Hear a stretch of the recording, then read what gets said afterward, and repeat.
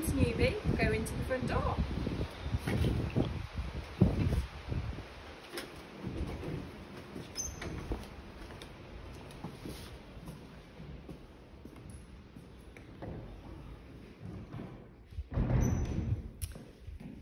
So this is the entrance hall um, and on a wedding day we, our florist would do two large floral displays on the two tables here. Um, the fire is always set ready to go so if you're having a winter wedding um, or even in you know this good old British summer if, um, if the weather is uh, not in our favour we can definitely have the fire ready, set ready to go. Um, the organ over here does work. We do have to get an organist from the cathedral, from Ripon Cathedral, just because it's really hard work to actually make it play. It's a foot pump. There's one down um, just in front of the keys and one at the side. So this room, the entrance hall, generally is used for, we, I would meet your guests and um, take presents cards, depending how you use Newby. If you have your ceremony here, um, might be where the groom's having buttonholes put on, meeting guests pre-ceremony, and then all the guests would go in um, to the ceremony room and the bride would arrive um, nice and private with a bridesmaid, sort the dress out before walking through to meet the registrars. Um, if it's a ceremony to church elsewhere or the church in the estate, then it would be um, reception drinks um, into the house. So guests would arrive, and this is just more of a glamorous corridor, really. Um, the guests um, might drop off coats here or presents, gifts, like I said, and then walk straight through for drinks reception. Okay. This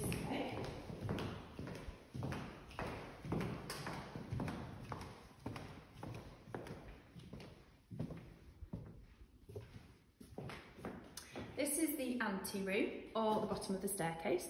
Fabulous for photographs, bride coming down the stairs um, uh, with her bridesmaids or bride and groom after the ceremony. Um, nice and kind of bright with the big windows. Um, so all of this you can use for your guests to, to walk through, um, enjoy for photographs. Um, and I will take you into the tapestry room. So this room, it feels quite dark at the moment just because all the um, the shutters are open, the blinds are down, purely to um, to kind of um, preserve the tapestries. They are all original and they're all original Chippendale furniture. Now, when you get married here, um, this is where, if you wish to go with tradition and tradition, meet the registrars individually, this would happen in here. And then the couple can come in for photographs afterwards. Um, there's no food or drink allowed in this room for obvious reasons.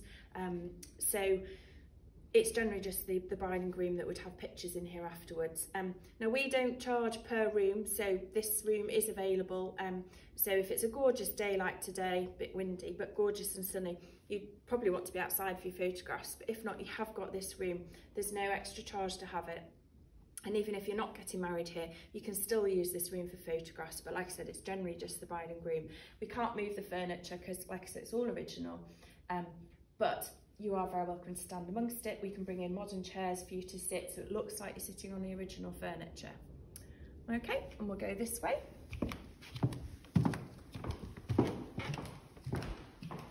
So from the ante room, you would then come through to the library.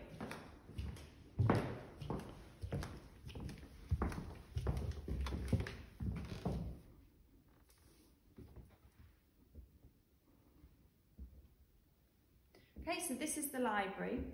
Um, the main use of this room, it's our main licensed um, room for the ceremony. The capacity is 120 seated. We can do 130. It gets a little bit warm and a little bit tight, but we have done it.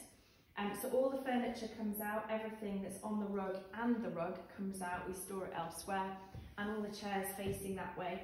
The desk there becomes the registrar's table, placed um, in between the two columns at the far end, uh, cleared of all the trinkets and, and photographs um, and then it's, it's free for you to have, you know, register, um, any flowers you wish. You can see the sun's coming in this room. It's south facing, so it's gorgeous and light. Um, the middle window here, there's three windows, middle one opens up as a door. Um, so you can actually um, exit uh, if you wish um, after the ceremony out there or um, once the ceremony is finished you might want to have that window open up as a door let people come in and out as they please um,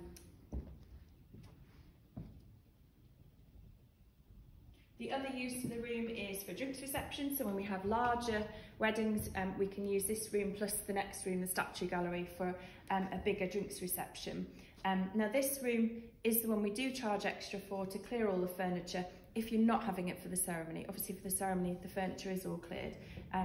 But if you just want it for drinks reception, we do charge extra for it. Again, there are the fire is always set ready to go, so it's really beautiful and cosy for um, for winter weddings. Um, to have all the furniture out and have a lovely space in here. We can hire in, um, you know, banqueting chairs, um, small coffee tables, poser tables if you wish to put in here and use. Okay, so thinking of the ceremony has happened in here and then you've got a beautiful long aisle as the bride walks in this door here and then down towards the registrar at the end. Um, it is the same length as, length as an average church aisle, so it's a really nice long aisle. And then as the couple both are married and depart, they walk up this way and uh, the double doors then I would open and lead into the statue gallery.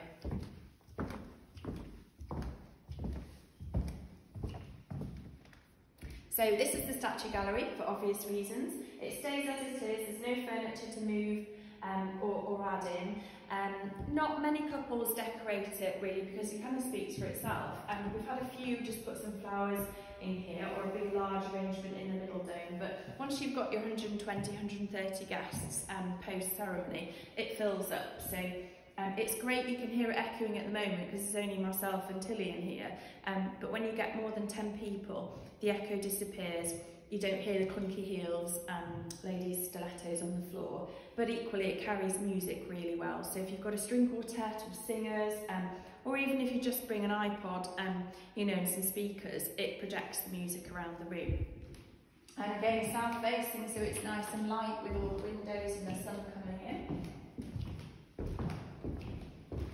and great for photographs. Pictures always look amazing in here if you just come up to the dome. Really lovely. And guests are always fascinated by this room and love kind of being in it. And then your wedding guests, um, I'm going to take you outside onto the south terrace, but they've got the library, the statue gallery, the anteroom, the entrance hall, just to wander freely as they wish. Guest toilets are halfway up the stairs, um, which we'll go and do in the second part of the video. Um, and we do have one on the ground floor for guests um, who can't manage any stairs, so disabled guests, elderly guests. Just open the double door though to show you outside.